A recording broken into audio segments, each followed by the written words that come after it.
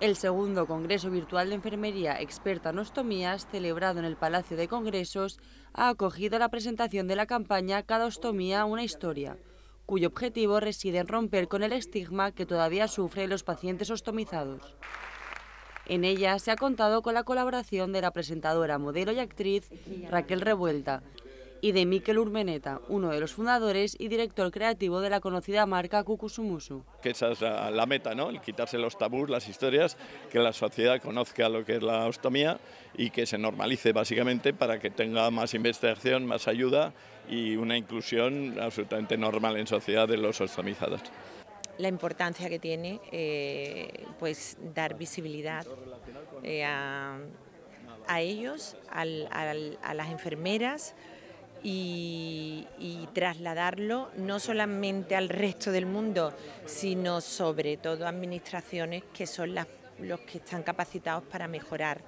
eh, la calidad de vida de, todas estas personas ostomizadas. Estas campañas ayudan a la formación y a la visibilización también de la enfermera experta en cuidado de las, ostomías, ¿no? ponen en valor y visibilizan las personas ostomizadas. En España hay más de 70.000 personas ostomizadas y necesitan de unos cuidados integrales a este tipo de, pacientes que realizan unas enfermeras expertas. Por lo tanto, necesitamos que haya en todo el territorio nacional una equidad, en, tanto en las personas enfermeras que cuidan de estos pacientes, también como el número de consultas. Durante el encuentro se ha presentado un vídeo sobre la historia de Laura, una paciente ostomizada, y la camiseta oficial de la campaña. Ambos colaboradores han trabajado mano a mano con los pacientes para crear estas dos acciones.